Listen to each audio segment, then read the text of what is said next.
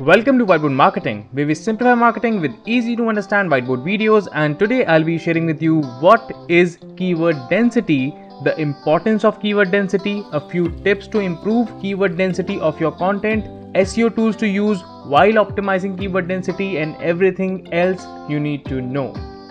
So let's get started.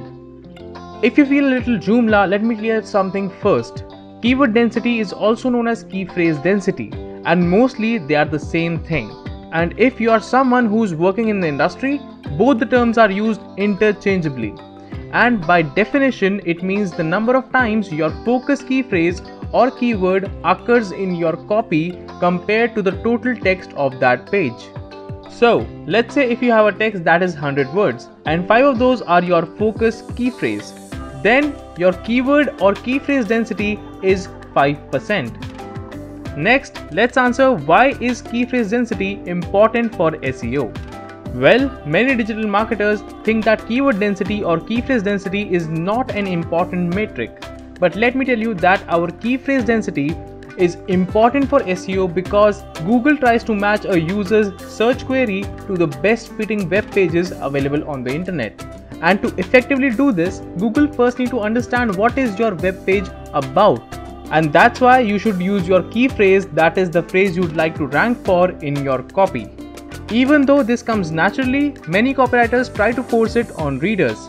For instance, if you'd like to rank for puppy adoption, you'd probably use this phrase regularly throughout your content without stuffing it or spamming it. You must be thinking, is that all you need to rank? No, no, and definitely not. Here's the thing if you repeat your key phrase very often in your copy, it becomes unpleasant to read for your visitors. That's something you should avoid at all times. After all, you want your users to enjoy and understand your content copy well.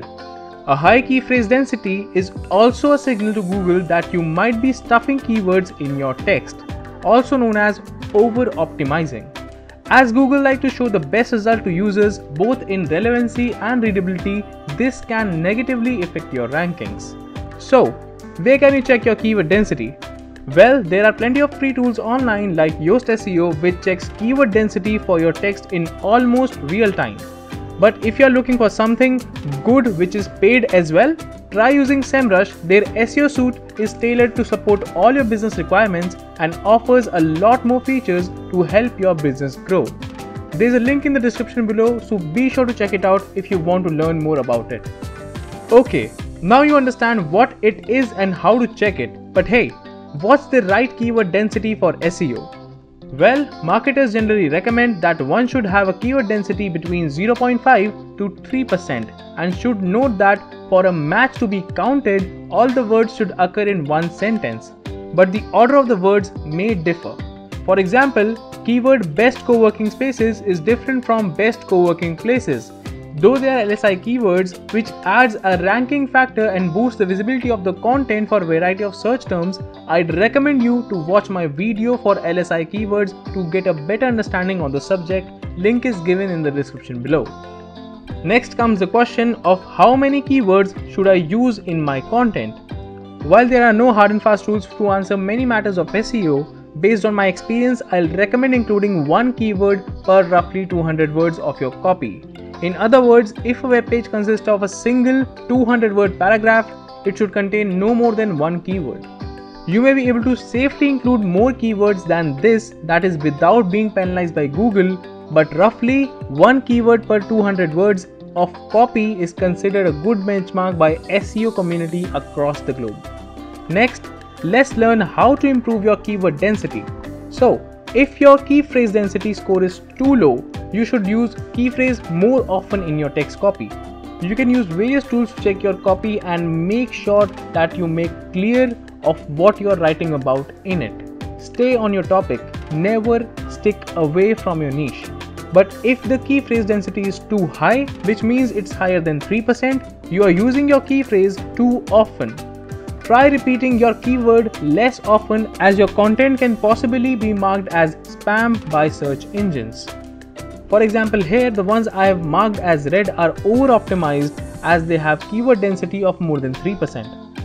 and the ones having keyword density of less than 1% are considered as under optimized and are marked as yellow. But the ones which are marked as green are decently optimized and our content should rank well on these. A small pro tip here, try to use synonyms as they're a great way to avoid repetitiveness. You need to know that synonyms do not count towards your key phrase density score, as keyword density exclusively looks at the use of actual focus key phrase in your content. Lastly, make sure that you use your focus keyword enough throughout the whole text, but at the same time, don't overdo it, as you don't want Google to think that you are stuffing your text with keywords, as it might get you into sandboxed or even worse, get banned by Google. With that, I hope this video was helpful to you and served value. If you love my content, be sure to smash that like button and if you haven't already subscribed to my channel, please do as it keeps me motivated and helps me create more content like this for you.